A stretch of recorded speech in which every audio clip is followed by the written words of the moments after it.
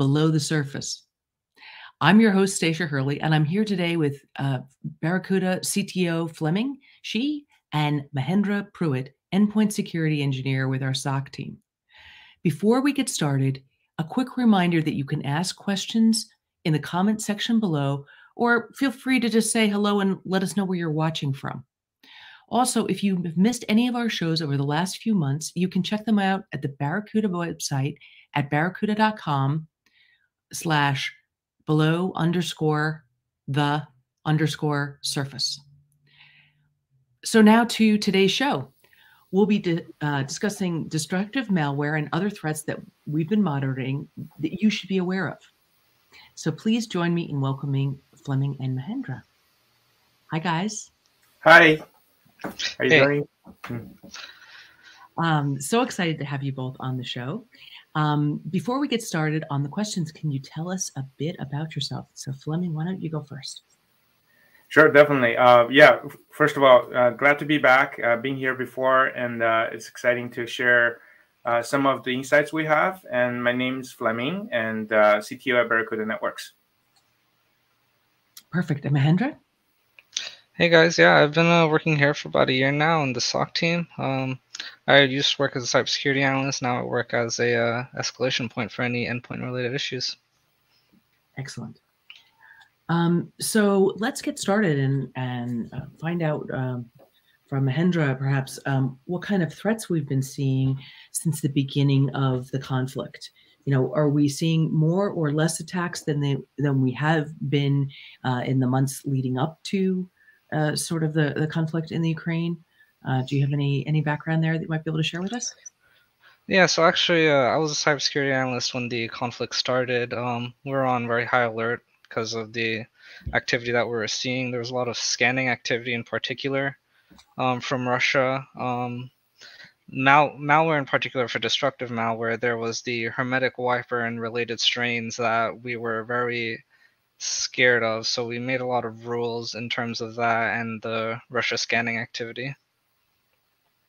Yeah, yeah, I'd like love to add to that. Um, Mahendra touched on it. The the hermetic um, destructive malware was something that was actually published by Microsoft. A little bit about the, the two stages it actually mm-hmm. carries through. Um, in, in, fact, at Barracuda, um, the core um, threat uh, you know detection platforms that we have we saw those uh, in the early uh, early part of mid part of uh, January. So um, obviously, once we see it, um, it becomes a signal that um, gets uh, gets propagated. Um, and uh, these type of uh, destructive malware are very different in a in a way they operate. Right? They're not ransomware where you can pick up the phone. Hey, let's negotiate how much I need to pay to get my data back, and not have you expose my customer data. In this case, you may end up with a um, uh, basically a, a, a bricked uh, uh, endpoint or laptop or computer or system in the cloud. Doesn't matter uh, where it is. It, it is very different type of attack. So making a, some adjustments is needed. Yeah, yeah, in response. Yeah. Do we see? I don't know that we saw hermetic uh, wiperware being deployed um, against targets, kind of uh, in the West, I should say. I, I uh, I think maybe they were using it kind of more in in the area of the conflict, but I don't have we ha- had any confirmation of any of those attacks happening outside of that area. I haven't seen any confirmation of those attacks happening outside of that area. In fact, some of these strains actually have some logic where if it's not Ukraine or in that area, that it will just disable itself. It won't do anything. Mm-hmm. But we still do see some traffic to related IPs to uh, for Hermetic Wiper and related strains like that. Are we? Do you think in the coming months that we're going to see more of this, or is it impossible to tell? Um, it's uh, it's difficult to say because the because I mean the U.S. has been giving Ukraine a lot of uh, support. Um, in in terms we, we've been getting a lot of threats from Russia, so it, it's quite possible that we might see either newer threats or the same threats coming at full force. Um, yeah. What sort of factors do you think um, that are affecting this this sort of decision to, to, kind of limit it to a certain area? Um, and are we going to be seeing like uh, uh these types of attacks, uh, you know, uh, sort of increase, or do you think we're going to be seeing more or less of uh, sort of the ransomware attacks that have been sort of now pushed off the front page a little bit? I think. Um, do you have any mm. any comments on that? Because I think it's gotten sort of quiet, but I don't think that the number of attacks, ransomware attacks, has gone down, or the number of breach type attacks, uh, attempted breach type attacks, have mm. has gone down. Do you have uh, thoughts on that? Yeah, so the traffic is the traffic increase mainly is due to the political tensions. Um, in terms of the ransomware attacks, um, threat groups are using different methods every day. Um, just another day, they were using ways to embed uh, persistence within Windows event logs to try to again, compromise uh, networks. Um, in terms of an increase, you'll probably see an increase in sectors like financial sectors and infrastructure sectors or energy sectors. Those are the main targets, especially with these political tensions increasing, because you saw when Russia was starting to attack Ukraine, they started going for infrastructure to try to wipe, like, get rid of people's electricity, bring down internet, mm, yeah. you know, stuff like that. They're they would try to get before the war started. Right. Definitely. Yeah, and I and I think the risk of ransomware is probably never going to go away because there's a monetary component to that, and I think they're just switching gear to be uh, leveraging the wiperware or destructive malware to to make a case or delay certain communication. You know, so it's uh, it's part of their digital, um, uh, I'd say, weaponry to to kind of create chaos. Um, and mm-hmm. obviously, um, you know, and one thing, like Mahendra mentioned earlier, there are some good news, right? Because you know there are a lot of alerts uh, being sent out, um, a lot of awareness being driven to to really have the shields up to uh, make sure um, you know scans aren't failing. Uh, you know if they're trying to hit your um, infrastructure that's externally facing, so they can really identify uh, openings to get in. But you know all it takes is a little bit to get in, then things can go wrong. so that's why we shouldn't uh, let any of our guards down at the moment. We need to continue to, uh, to, to, you know, basically uh, block uh, traffic that that looks suspicious coming from, uh, you know, the regions that's in conflict. Um, and I think uh, to the question whether ransom, ransomware is going to make a return, I have no doubt. you know, at some point, it's going to, you know, private sectors as well as government and you know whoever it's vulnerable it will be facing those situations again um, but you know hopefully everyone's gotten a little better at responding to ransomware uh, wiperware is something that i'm a little bit more nervous about yeah for people hmm. right i think too i mean uh, you know the the countries that had maybe a problem with hard currency right i think that there's maybe um, a temptation to get some um, money that they can use in the country uh, through things like ransomware.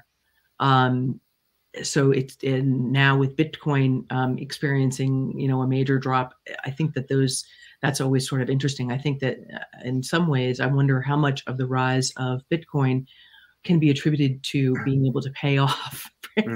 ransomware because it was such a problem for a while there. I don't have any proof of that. I I wonder yeah. if you guys have any thoughts on that. The only way I'm thinking through that is that uh, digital currency is traceable. We have uh, mm-hmm. actual mm-hmm. evidence that we have traced down certain, you know, um, uh, threat groups and eventually recovered some of the cost, right? But I think, uh, you know, whether it's related to Bitcoin coming down, it's, uh, you know, the pressure coming from um, the price, I'm, I'm not sure. I think you know it, they can just ask for more bitcoin in many ways if you think about it right so i think the key still is related to the focus um, everyone's very alert um, you know kind of driving down successful attacks it's uh it's kind of hopeful um, uh, you know but recovery from a destructive malware uh, is different right and uh, we'll probably get into it in a little bit but uh, love to hear mahendra's uh, view on uh, cryptocurrency versus ransomware you know, sort of the correlation. Yeah, well, um, we see a lot of the same like kind of fraud methods implemented in like with real currency and cryptocurrency. So threat actors will actually do is they would send if they get a Bitcoin payment or any type of other cryptocurrency payment, they'll send it to like a wallet, and which goes to like a million other wallets to try to get the threat actor that money. Um, it's it's traceable. I mean, you can see all the transactions uh, because it's a cryptocurrency. You can see the transactions in the ledger, but um, yeah, yeah. Okay. Um, so when did our team sort of begin to first notice, um, sort of uh, become aware of and try and remediate some of the things that were going on, uh, perhaps connected to the conflict uh, in Ukraine? Uh, was that something that we saw right off the bat uh, when the conflict started, or did it start a little bit before that? Do you have any any thoughts on that? Yeah, I'll let Mahendra answer this first uh, yeah. because he's in the front line. So yeah, yeah. So we started we started putting blacklist in as early as January when we first started seeing things going on. Um, we had our red team put blacklists in. We started kicking rules off. We were observing the conflict really, really closely, keeping up with news articles coming out every day. So we started ramping up on the amount of rules that we're creating to watch this type of malicious traffic that was going to our customers. Yeah. Okay. So um, mm, go ahead, Yeah, similarly, I, I, I think the the data that shows that we have um, is really late December, early January, we start to see scans, uh, a little bit increased scans, and obviously putting putting them down with the proper GeoIP, uh, you know, uh, allocation of uh, um, where Russia is and, and Belarus and all uh, was helpful. Um, but also when we start seeing the actual destructive malware, it's uh, uh, middle of January. And we, we saw in our advanced persistent threat uh, scanning layer um, because it's attached to many of our products. So the so I would say the the blast radius is very broad. So when we see it, uh, we can we can pull it out, and it's pretty straightforward. Once you get the SHA-256, the fingerprint of the IOC, we will be able to compare it to every everyone else's notes, right? So hmm. yeah, mid mid of January we start seeing that. Uh, not on, not only in mm-hmm. addition to the rules, we've also been really ramping up on our threat hunting efforts. Mm-hmm. Um, we're looking for both like the IOCs, but also we're looking for TTPs, which are the threat like the tactics that the threat actors are using. So hmm. we're not only uh, targeting the IOCs, we're targeting hmm. like how they work to try to counteract what they might do in the future. Yeah. Is um, hunting these types of threats any different from um, what you would see with sort of garden variety ransomware? Um, no, uh, actually no, because with ransomware, I mean, you'd look for the IOCs as well, but mm-hmm. it, it really de- also depends on the group, right? So the threat actors from Russia or like related countries, they might use different techniques to compromise the network um, threat actors from like let's say like North Korea or like a different country might use different uh, tactics as well, like when it comes to like ransomware and stuff like that. So it like really depends on uh, the group and like the IOCs. Mm-hmm. Yeah, to that degree, I think the destructive malware or wiperware versus ransomware, it's like unfortunately it's like a little switch for them. They can figure out ways to get in and they can choose oh should i go ransom or should i just wipe out the whole thing right? Mm-hmm. and so they have that kind of uh, unfortunately they have that kind of uh, uh, flexibility.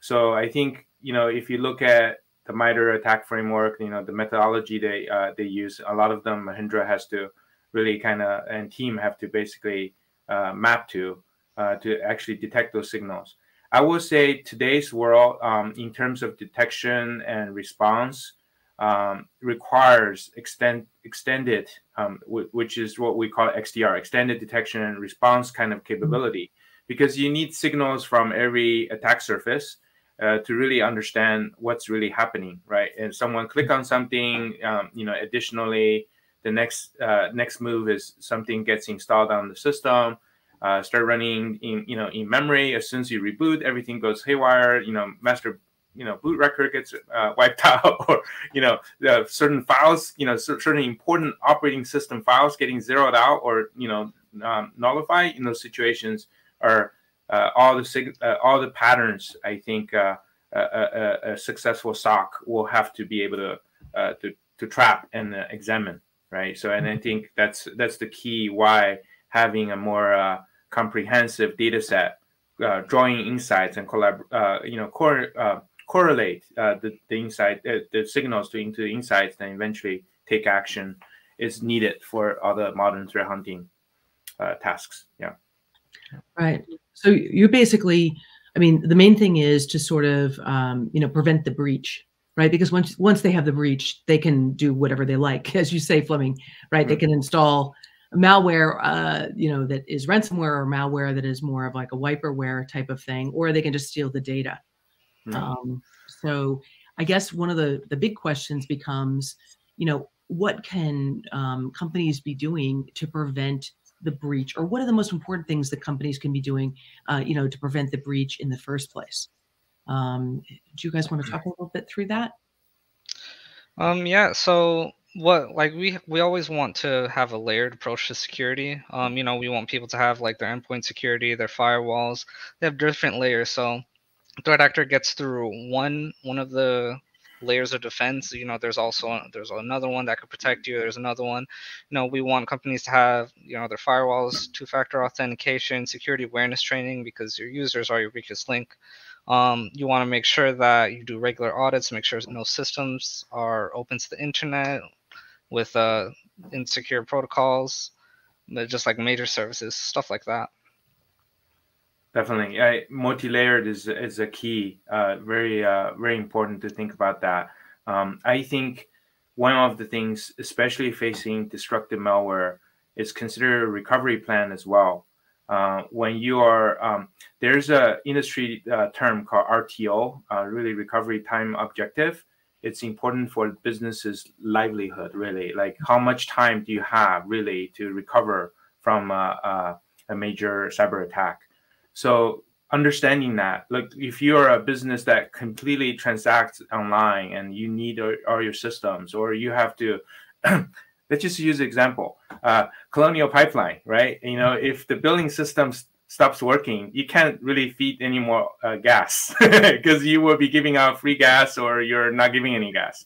My thinking here is that understanding that key objective then map it to what you need to do when you're facing with ransomware and destructive malware. With destructive malware i am re- recommending folks to think about uh, making sure you have not only backup of your data, but really split out your compute and data in some way so you can recover the entire system if you need to. Like if you lose your system, right? Instead of trying to get your recovery USB disk installed and maybe someone has to run to a, a site to install it, and that's going to take a lot of time. So the right thing to do is what is your plan in terms of making sure even you lose your compute uh, you know in a, in a cyber attack you can bring it back in 24 hours versus mm-hmm. two weeks right um, things like that. I think you really need to consider that rto uh, you know uh, factor. Then then it's a different thing. Because with ransomware you could say okay this is a huge problem. Let's call our insurance negotiate down pay the millions boom then you're back online. Your data is back right? Uh, unfortunately the, the one that we have saw uh, you know that it's really about wiping your uh, you know file allocation table, your your NTFS uh, you know file file table, master file tables, um, which means your your system will not boot, will not function. Uh, you know a lot of pieces will be broken. it's not just the directory that you had your critical data in uh, that you need to recover, but the entire system is gone. So I think that is also an important part of uh, dealing with destructive malware on top of uh, all the multi-layer um, detection and uh, and prevention capabilities that Mahendra mentioned. Yeah, I think, I think that's a good point. I mean, in terms of the recovery, I mean, uh, there was the community college, um, Lincoln College, I believe it was, where they, and this was with ransomware, um, mm-hmm. they could not recover, and they ended up they've been they've been around since you know 1867 or something, and they had to oh. they had to close their doors because they could not recover um, in time after mm. a ransomware attack um, to be able to, you know, to be able to enroll students. And yeah. so they just shut down the whole college, um, mm-hmm. which is uh, pretty surprising. But that's that's that sort of thing about if you don't have the the recovery systems in place, you, you may not really have too many options. Uh, mm-hmm. I think there with them it was ransomware that hit them, but it was almost because they had no way of recovering. It was as destructive as as mm-hmm. as possible. Um, um, what do you think if you had to pick something um, that people could be doing differently than what they're doing right now um, in terms of just general general things what would you actually say on that um, in terms of what they should be doing in terms of you know should they be doing more training uh, those types of things? Do you want to uh, go into that a little bit fleming? Sure um, i think uh, i think it's we have seen ransomware for many years. Um, you know, destructive malware is not new. Uh, 2017, NotPetya was actually a, supposed to be a ransomware, but it became a wiper because it didn't work as a ransomware. Um, mm-hmm. So it's uh, unintentional, but to the degree where eventually people lost systems. Right. So I think, uh, uh, um, you know, there are a lot of uh, strategy already in play. Some of them maybe uh, it's easier to implement, some are harder to implement. But the ones that's easy, low hanging fruits, let's do them right away, right? Like you know, first of all, MFA, like Mahendra mentioned, you know, don't leave any.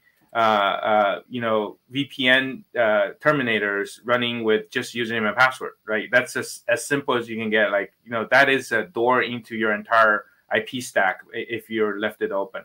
Uh, and and remember a lot of the credentials and a lot of people's data have been lost already. It's not like we are just starting to lose data. We've been losing data, unfortunately, to the bad guys for many years. So people will know who was your, uh, you know, previous employee who left the company. Maybe they can try it. They can who worked in your company as IT admins, which probably hold the key to key to the kingdom. If they crack that open, right? So all these are uh, easy ones to to to address, and of course training uh, humans understand not to click on things and phishing attacks and all these are uh, uh, uh basics I think at the moment that we have to be doing. Uh, the part that uh, I think differently is treat wiperware a little bit with more urgency on related to your business capability ability to recover right in a in a mm-hmm. cyber attack.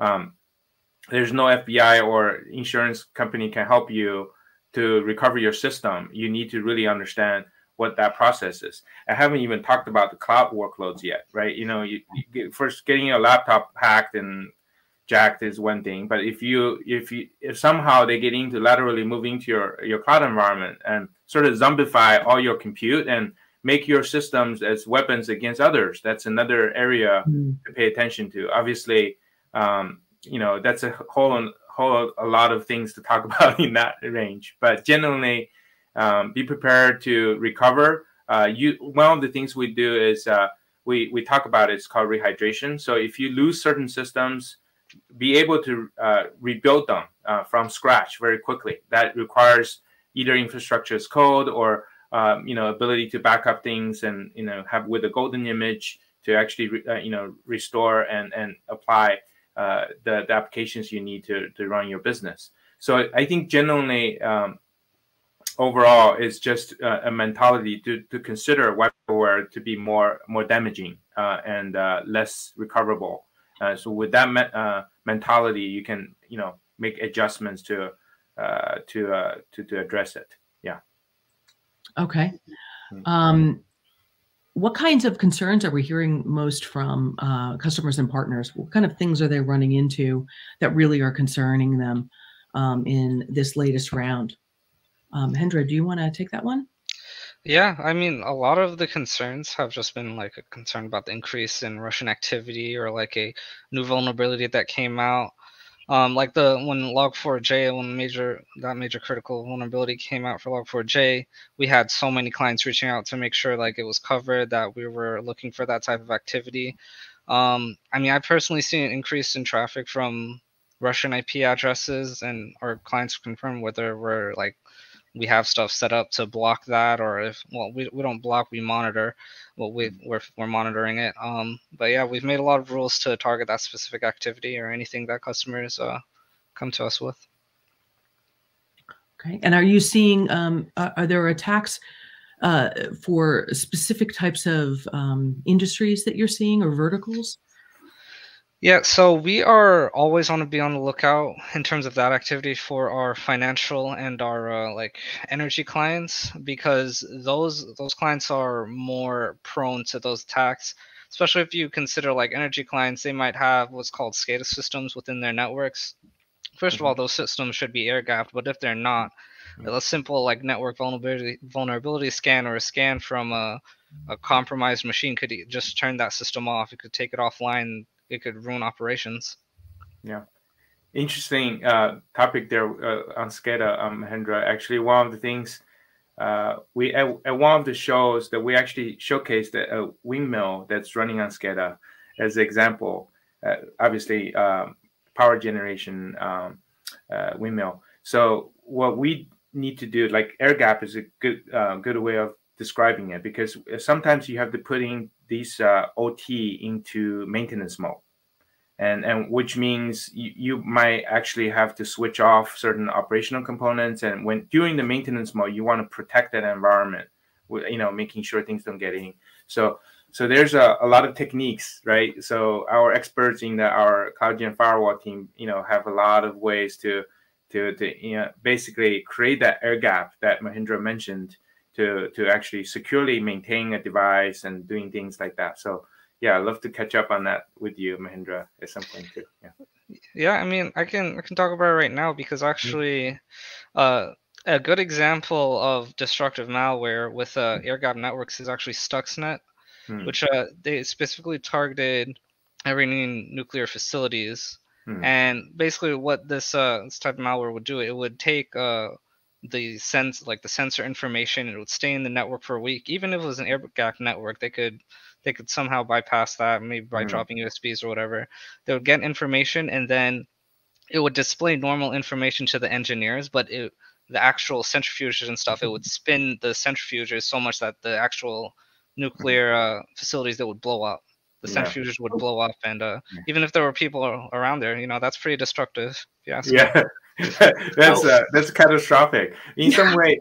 Yeah, if you think about it, it's really I've seen even in uh, uh, I think in many stories where basically they are replaying a, a normal behavior, which unfortunately it's a shield for all the bad things that's happening behind the scene. That's that's what you mean, right, Mahendra?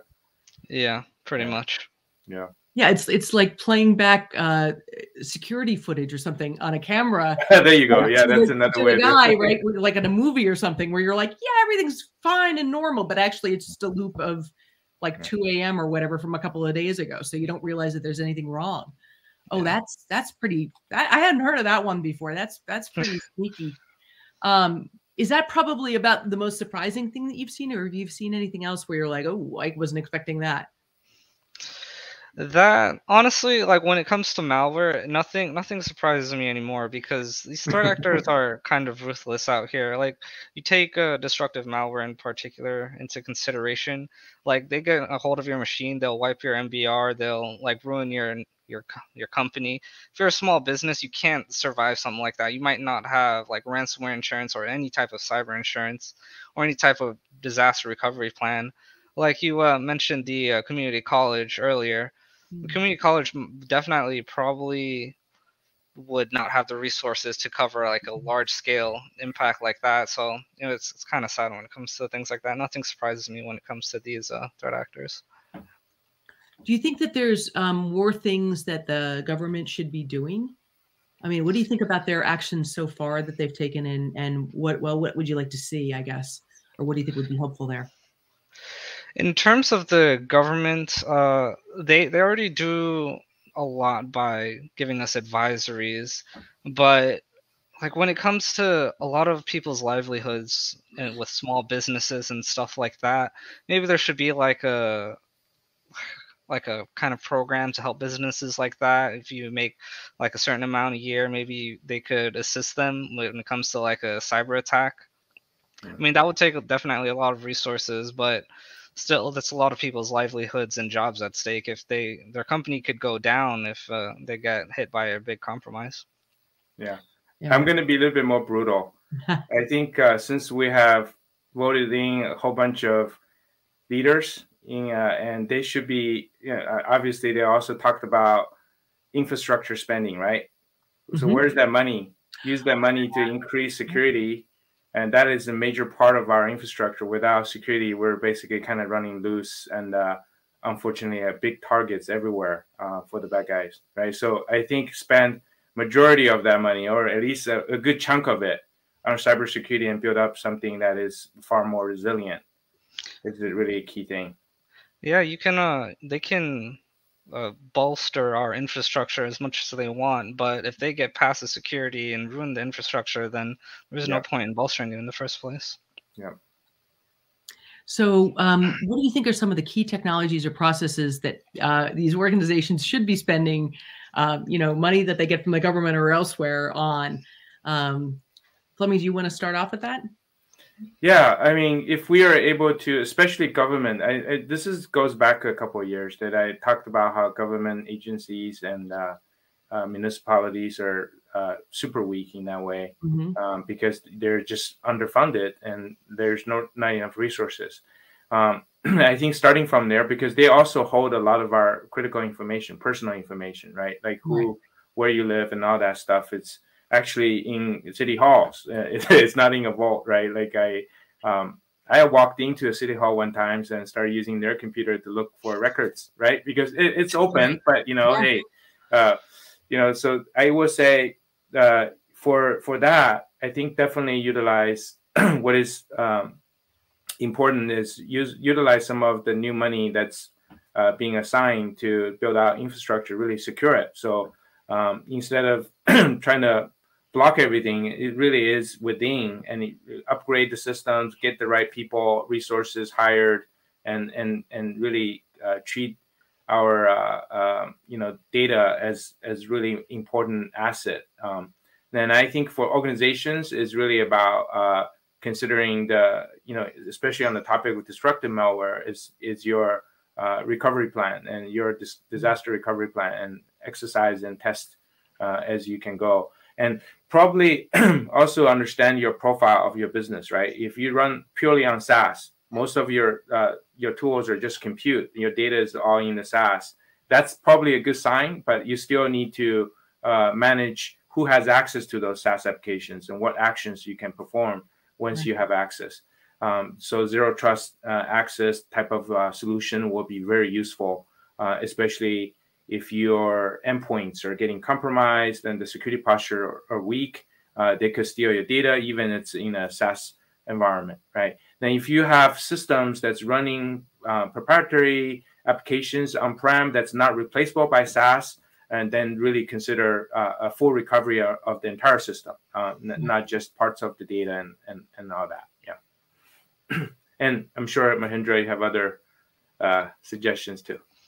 Yeah, I mean, my my go-to will just always make sure they have the best practices. The small businesses will go over best practices and be like, no, we don't want that. We like it, but you have to. I mean, they get in, they get in, and you're going to be out of luck. Mm.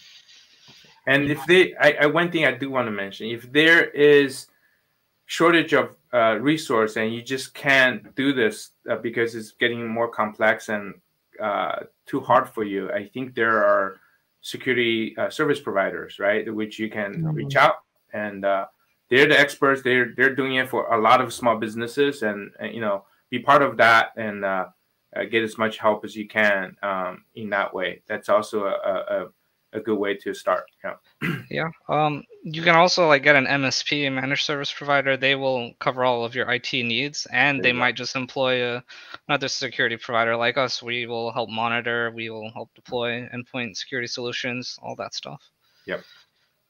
Right. So if you don't have the resources to do it yourself, basically, if you have an MSP uh, that has access to a SOC, uh, a, a, help desk or something like that, that means that you'll have the help from people like Mahendra, right, to yep. help them if if there's any kind of problem.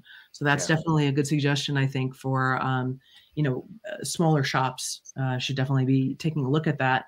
Yep. Um, okay, so do we want to talk a little bit about um, some of the final thoughts, uh, you know, and and recommendations? Uh, Fleming, do you want to kick us off there? Yeah, just a quick follow up on the one you just mentioned with MSP. I think do checking, make sure they have the right tools. If they're just running a some you know last generation SIEM, it's probably not going to be good enough. So look for the the acronym XDR, which is Extended Detection and Response, uh, okay. as a as a their threat hunting capability. So make sure your MSP and your security provider has that capability, ability to ingest data, correlate data, get insights, act on various different phases of a potential attack. Uh, that is an important thing. So that's one part. Um, other things, I think, uh, you know, some final thoughts. I, I, think I have three things that I listed.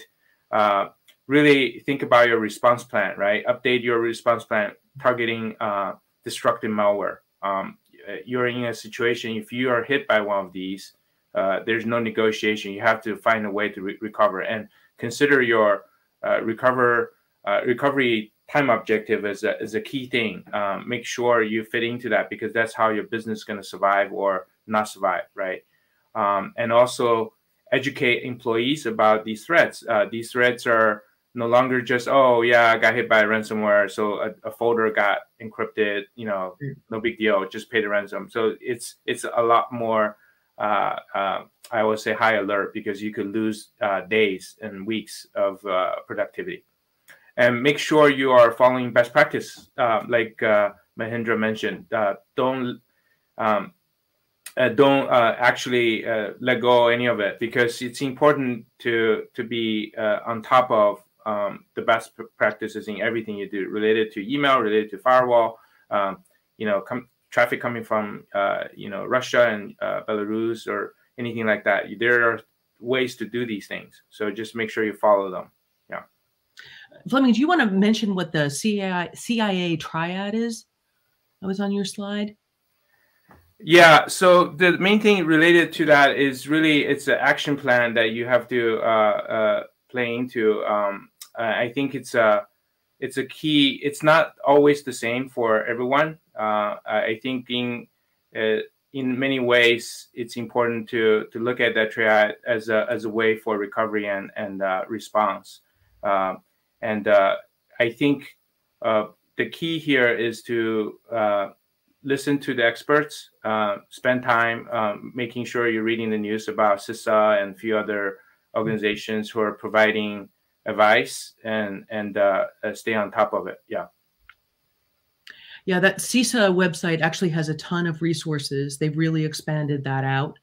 Um, so they have advisories on there, and they also do have some help if you are a small uh, business or you're a SLED, so your state and local government or education customer, um, they have resources that will actually help you if you do get hit by ransomware. Um, so it's definitely worth taking a look at that site if you have not been up there uh, yet. Um, yeah. So, mm -hmm. go ahead. Definitely, definitely. I think uh, uh, you know if we want to go through the process of considering uh, what your posture is. There's many many frameworks to follow, uh, but I think uh, you know doesn't matter if it's CIA or NIST or anything. It's really about how much you need to do for your business, right? What is available to your uh, to your user um, uh, community. Uh, what is important for your business integrity, and all these things are important. Uh, but I think generally don't get hung up on that one set of framework, but really kind of get into the uh, best practices quickly, uh, especially related to destructive malware. Yeah. Mahendra, do you have any final thoughts?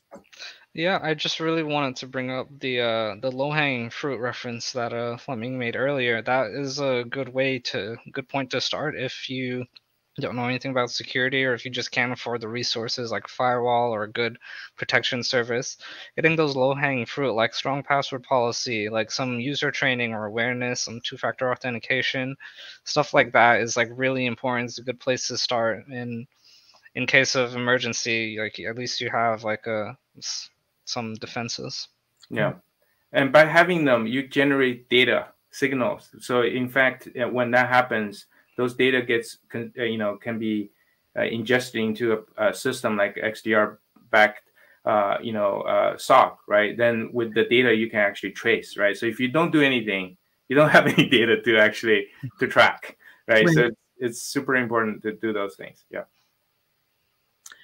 Okay, so unfortunately, I think that's all the time that we have for today.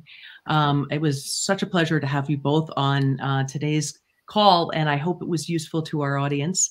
Um, please let us know if there are any comments about this show. Um, and remember that you can watch all our LinkedIn live shows from the Barracuda website. Um, for now, that leaves me to say until next time, have a safe journey. Thank you.